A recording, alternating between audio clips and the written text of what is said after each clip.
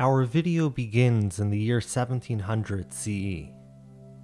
The year 1700 starts with by far the most populous two empires of the time existing on the eastern and southern coasts of Asia, in the form of the Qing and Mughal empires.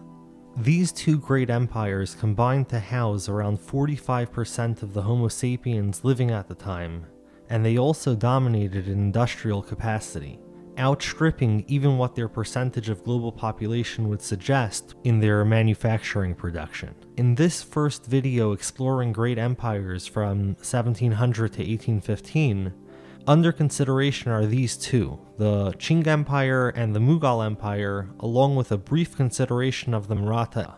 Like, subscribe, support links in description. We're in. The Qing Empire entered 1700 having only recently, in 1683, begun the High Qing era, the peak of the dynasty's political, military, and social power, which would run all the way through 1799. The High Qing era began midway through the reign of the longest formally ruling emperor in China's history, the Kangxi Emperor, who brought prosperity and stability after chaotic times. In 1703, Lobsang Khan assassinated the Dalai Lama and was appointed regent of Tibet by the Kangxi Emperor.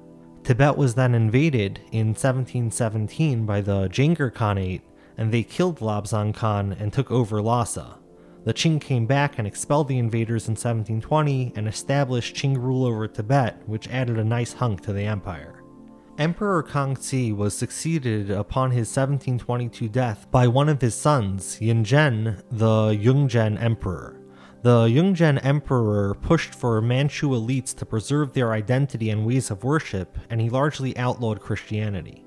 He also cracked down on financial corruption, which saw 1730 bringing in nearly double the revenue to the treasury than what was brought in in 1721.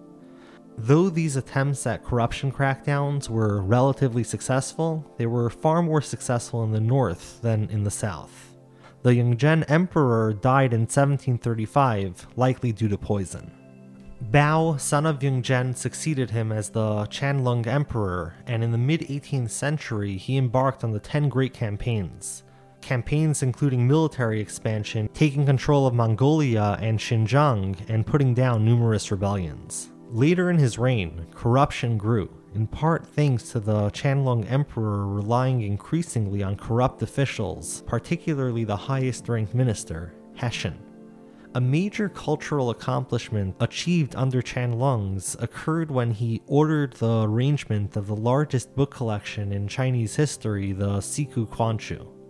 When 1796 rolled around, the Qianlong Emperor abdicated the throne, but not before the White Lotus Rebellion was underway, picking up in 1794. The rebels' surprising success dampened the presumption of the monstrous superiority of the Qing army. The abdication of the Qianlong Emperor was merely ritualistic, though, as he retained power for the following three years up until his death in 1799.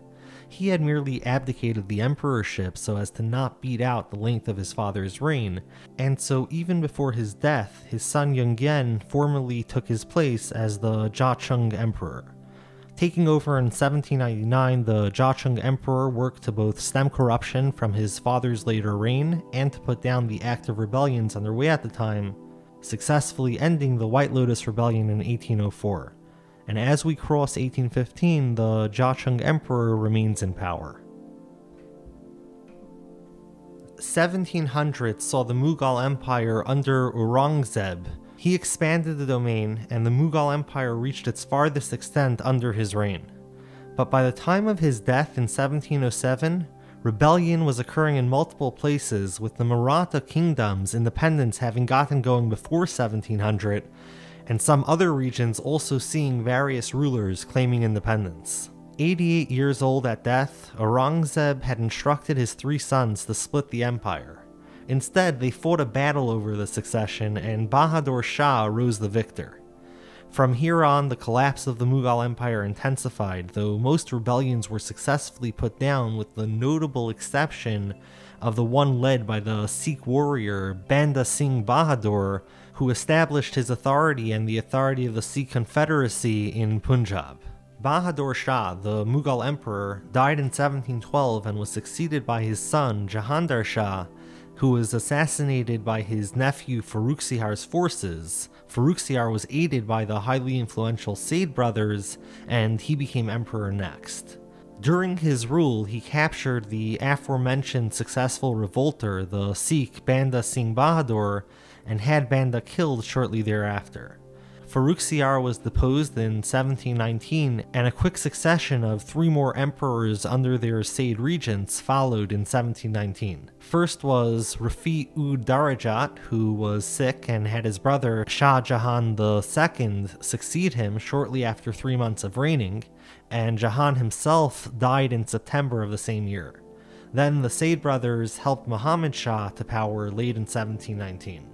Muhammad Shah managed to help have the Said brothers murdered, one each in 1720 and 1722 respectively. But under his rule, the empire continued its decay and saw much conflict, including many invasions from the Maratha and their takeover of mass chunks of central India.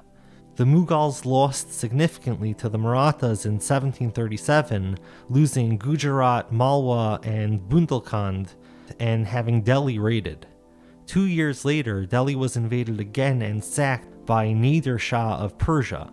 The Maratha were the most significant of the powers, filling the void left by the defunct Mughal Empire. The Mughal name lived on, however, though no longer as an empire, with Muhammad Shah being succeeded upon his 1748 death by his son Ahmad Shah Bahadur, who was deposed in 1754 by Imad ul Mulk, who placed Alamgir II on the throne and killed Alamgir II in 1759, and will now leave the Mughal story, which hadn't been an empire in decades, to take a brief look at the Maratha, who were peaking at just about this time.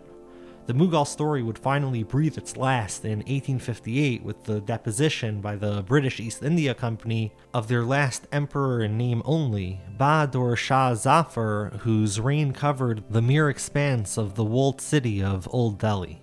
Now for the Maratha. They'd grown, peaking in 1761, at which point a Durrani invasion saw their expansion halted and their loss of control over much of North India but their authority was re-established 10 years later under the ninth Peshwa of the Maratha Empire, Madhavrao I, who then died in 1722. After his death, the Maratha Empire became more a confederacy of states than an empire. The Maratha Confederacy remained a major power until the East India Company defeated them in the Second Anglo Maratha War of 1803 to 1805 and then in the decisive Third Anglo Maratha War of 1817 to 1819. Meanwhile, the Sikh Empire got going in 1799 under the Maharaja Ranjit Singh, who would take it through 1815. As we leave the scene in 1815, Qing China has grown some, and the Indian subcontinent sees an increasing amount of land under British control. We'll continue from 1815 on in a later video, but first, other empires of this time frame await.